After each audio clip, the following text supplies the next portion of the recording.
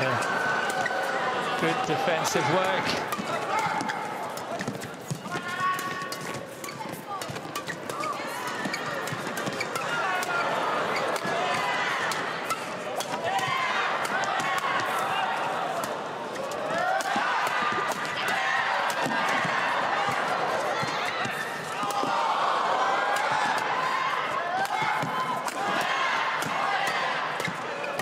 This is fierce, isn't it? Good placement.